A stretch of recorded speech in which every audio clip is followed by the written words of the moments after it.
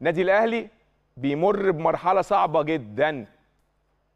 لأن بعد الجدول ما نزل حضرتك النهارده بتتكلم على يوم 28 يونيو. البطولة تخلص 17 أغسطس.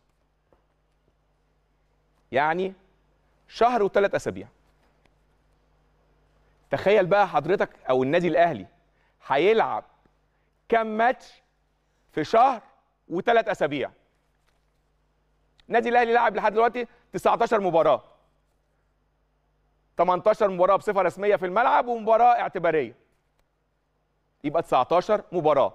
ناقص له على عدد مبارياته علشان ينهيها في الدوري 15 مباراة. 15 مباراة.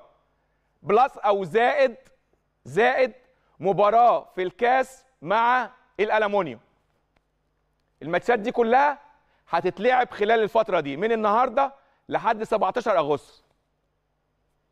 يعني بتتكلم حضرتك على مباريات بتتلعب ما بين 48 ساعة و72 ساعة. 48 ساعة و72 ساعة. أنا بس بكلم حضراتكم كده ليه؟ عشان أوريكم بس مين اللي متضرر مين اللي متضرر. آه في في ضرر وقع على أندية كتير بس مين أكبر المتضررين أكبر المتضررين النادي الأهلي. من بداية الموسم لنهاية الموسم. وهقول لحضراتكم ولسه الموسم اللي جاي ده أنا ده أنا معايا ورقة كاملة بالبطولات اللي اللي هيلعبها النادي الأهلي السنة الجايه الجاية أو الموسم الجديد.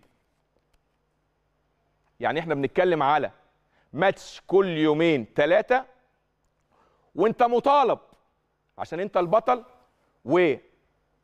وبتحافظ على البطولة بتاعتك وبتجتهد وبتتعب وبتموت نفسك عشان تحافظ على اللقب في وقت صعب جدا جدا جدا محتاج دعم من الجماهير للفرقة في الوقت ده. طيب.